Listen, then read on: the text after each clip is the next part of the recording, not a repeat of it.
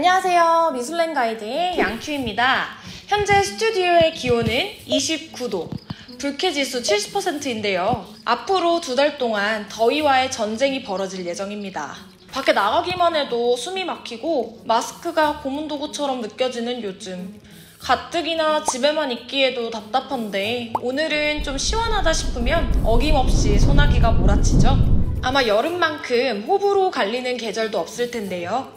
오늘은 뜨겁고 끈적이는 여름의 불쾌감을 해소해주는 그림을 소개해드리려고 합니다.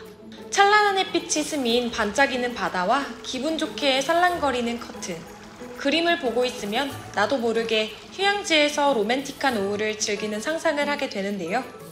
여기에 트로피컬한 음악까지 더한다면 순식간에 드라마 주인공이 된 기분을 느낄 수 있습니다. 자연스럽게 여름에 대한 기억을 조작하는 이 그림의 주인공은 바로 앨리스 달튼 브라운입니다. 그의 주 종목이 바로 빛, 바람, 물인데요. 모두 여름이랑 참 딱인 소재죠. 그림도 인스타 인기 피드에서 볼 법한데요. 사실 그는 현재 80살의 할머니 작가입니다. 앨리스의 그림은 꼭 사진처럼 정확하고 자연스러운 풍경을 담고 있습니다. 앨리스의 그림에는 크게 두 가지 특징이 있는데요. 먼저 그의 그림에는 사람이 등장하지 않습니다. 보통 집과 같은 실내 공간을 그리면 사람이 등장하기 마련인데요. 특정한 인물이 등장하지 않기 때문에 그림을 보면서 우리는 무의식적으로 나를 대입하게 됩니다. 꼭 내가 저기서 쉬고 있는 것만 같고 내 눈앞에 오션뷰가 펼쳐진 것처럼 상상하게 되죠. 그리고 그의 그림들을 보면 자연 풍경과 실내 공간이 꼭 함께 등장합니다. 일반적으로 그림을 그릴 때 바다가 주제라면 해변을 침대가 주제라면 방 안의 모습을 그리곤 하는데요. 앨리스는 다소 이질적으로 보이는 자연과 인공의 소재의 조화를 추구했습니다. 자연이 빚어낸 바다와 하늘, 그리고 햇빛이 차갑고 단조로운 집에 닿는 그 순간을 포착한 건데요. 전혀 달라 보이는 두 소재가 만나는 지점이 바로 그림 속 공간입니다. 이때 커튼은 두 공간을 연결하는 핵심 소재로 자연과 공간을 자연스럽게 이어줍니다. 나부끼는 커튼과 그 사이로 빛이 스며드는 모습이 보이시나요? 우리는 이 커튼을 보면서 화창한 하늘에 선선한 바람이 부는 날씨를 떠올립니다.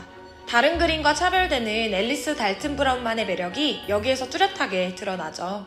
특유의 로맨틱하고 평온한 분위기 덕분에 그의 작품은 신혼집과 같은 실내 인테리어로도 인기가 많습니다. 딱 보기에도 비타민 D가 마구 생성되는 느낌이죠. 내 집이 북서양이거나 일조권 문제가 있다 싶은 분들이라면 이만한 그림이 없을 것 같기도 합니다. 무엇보다 그의 작품이 특별한 점은 익숙한 소재에 특별한 생명력을 부여한다는 점입니다. 세상에는 이미 존재하고 너무 자연스러운 나머지 우리가 인식하지 못하는 것들이 많습니다. 어디에나 있는 하늘, 바다, 집도 여기에 포함되죠. 이미 존재하는 것에 특별한 의미를 부여하는 직업은 예술가들에게 중요합니다. 전혀 없던 것을 만들어내는 것도 물론 대단하지만 우리가 미처 주목하지 못한 것들을 발견하고 자기만의 방식으로 보여주는 건 역시 예술가의 목적이니까요. 우리의 일상과 밀접한 집과 자연을 소재로 로맨틱한 풍경을 그려낸 앨리스 달튼 브라운. 그의 작품은 꼭 우리가 살면서 한 번쯤 상상해본 꿈의 공간을 재현한 것처럼 느껴집니다. 오늘 유난히 지치고 힘든 하루를 보내셨나요? 앨리스 달튼 브라운이 빚어낸 이 아름다운 공간을 보며 잠시 여행을 떠나는 기분을 느껴보시는 건 어떨까요? 오늘도 저희 영상이 마음에 드셨다면 좋아요와 구독 부탁드리면서 저희는 다음 주에도 더욱 맛있는 예술 한 상을 가지고 찾아뵙겠습니다. 감사합니다.